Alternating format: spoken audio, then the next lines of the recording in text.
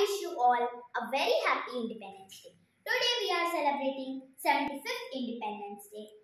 Independence Day is celebrated every year on 15th August. It is very important day for all of us because on this day in 1947 we got independence from the British rule. This day reminds us the sacrifices of our leaders like Mahatma Gandhi, Pandit Nehru, Bal Gangadhar Tilak, Dr. B.R. Ambedkar and many others.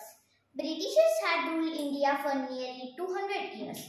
They had come and trade the rules of our country due to our international disunity. Every year on 15 August, our Prime Minister hoists the national flag in the Red Fort and delivered a speech on this occasion. In this, in this 15 August और आज़ादी का अमृत महोत्सव।